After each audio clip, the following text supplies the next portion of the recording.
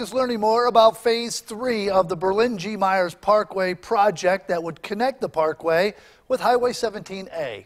News 2's Dorchester County reporter Stetson Miller explains.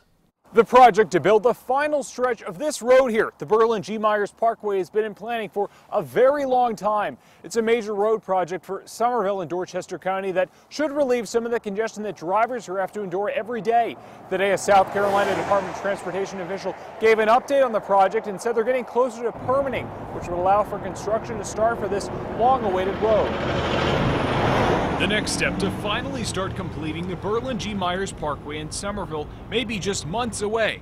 That's according to the project manager for the parkway who says they may soon get the needed permits from the Army Corps of Engineers. The biggest milestone that we're trying to get to is get, getting that Corps permit. We're not there yet. We are we feel we are very close. The Parkway project has been in the works since the 1970s. Phases 1 and 2 that connect North Main Street near I-26 to East Carolina Avenue were completed in the 90s. The third and final phase of the project would extend the road to Highway 17A near Summerville High School. The goal is to alleviate some of the traffic that travels through Summerville on Main Street. Officials said today if the permitting is approved by the Corps and a $9 million budget shortfall is addressed, construction could start in 2020. In Summerville, Stetson Miller, count on 2.